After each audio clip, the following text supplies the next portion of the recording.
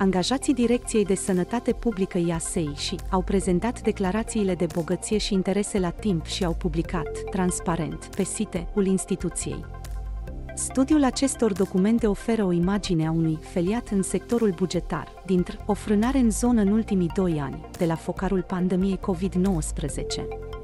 De asemenea, permite creionul unui profil, cel al birocratidei din sănătate, în al doilea an de pandemie în postul de angajați al instituției care este responsabil pentru sănătatea sistemului medical din IASEI.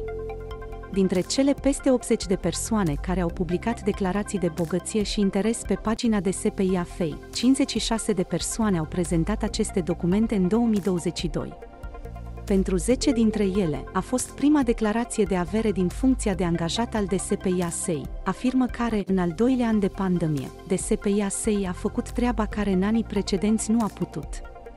A fost cel mai mare val nou, venit din Instituția de Sănătate Publică din 2015, deoarece apar primul cont de venit de venit.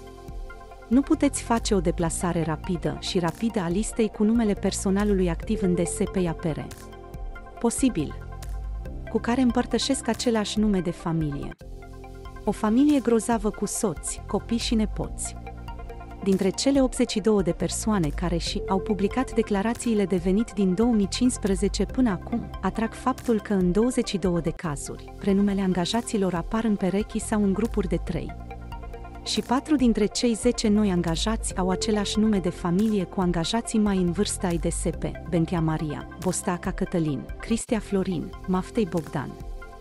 Declarațiile de bogăție permit relațiile soției să fie văzute cu certitudine, deoarece în domeniul formei, venitul titularului trebuie finalizat, dar și ale partenerului de viață. În celelalte cazuri, pot exista relații dintre părinți și copii, frați sau surori sau alte tipuri de rudenie, care nu ar trebui informate în declarațiile de bogăție. Sau poate fi o coincidență pură, atât de frecventă încât este aproape imposibil să nu ai mai multe persoane cu același nume o echipă de peste 50 de angajați. Ca nume Benchea, de exemplu, Cuplurile certi sunt familiile formate de directorul executiv adjunct Petronela Bostaca și